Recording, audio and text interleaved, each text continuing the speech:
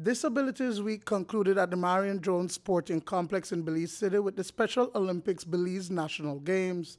The event supports a week-long awareness campaign on persons living with disabilities and their inclusiveness in all sectors of society. The official ceremonies today began with the final leg of the Flame of Hope Torch Run, an initiative of the law enforcement agencies, but spearheaded by the police department. Today we are having our 14 national games for children with intellectual disability, also with children without um, disability. Um, today they will be engaged in football, marching, and track and field. And a part of the games we are also having our performance station for the first time. Performance station is an event for them to um, increase their performance and also to, to increase, their, to develop their fitness level. Over 300 athletes and 130 volunteers from all six districts are participating in the various disciplines, including javelin, softball throw, shot put, and standing jump. Orange Walk fielded the most, 68 athletes.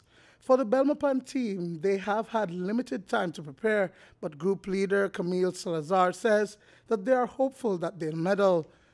Our preparations have, have been throughout the year. We have been on and off practicing the different kind of sports. Uh, today we hope to go, home back with something positive.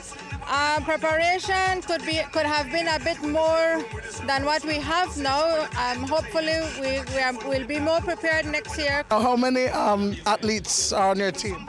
We brought 23 total, 23 athletes and 10 volunteers. Females and, Females and boys, yeah, all up to age 25, 26 years old and that preparation can go a long way. The top athletes from the national games are more than likely to represent Belize at the World Games to be held in Abu Dhabi come 2019. So today we will select the, the, the athletes that will be going for that games. We, we in Abu Dhabi will be participating in football and also track and field. So we will take uh, male football and female track and field.